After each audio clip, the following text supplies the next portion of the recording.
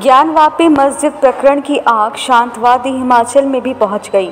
देवभूमि हिमाचल के पावता साहिब में एक समुदाय विशेष के व्यक्तित्व द्वारा सोशल मीडिया पर शिवलिंग को लेकर की गई टिप्पणी के बाद मुस्लिम बहुल इलाके माजरा में स्थिति तनावपूर्ण हो गई। पावता साहिब के माजरा में देर शाम को एक समुदाय विशेष के लोगों ने पुलिस थाने का घेराव किया।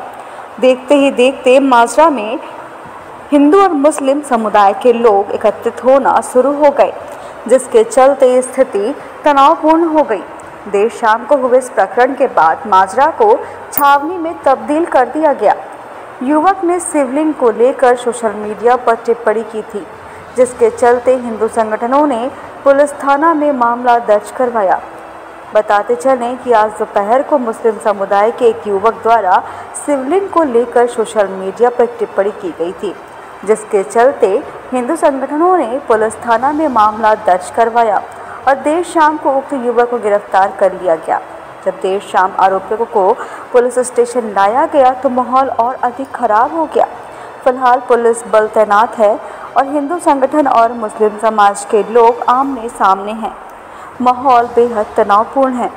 हालाँकि नाहन और पावठा से भी पुलिस बल को मौके पर तैनात किया गया है। बताते चल रहे कि युवक की गिरफ्तारी के बाद मुस्लिम समुदाय के लोग भड़क गए और उन्होंने माजरा थाने का घेराव शुरू कर दिया। Bureau report, IPN.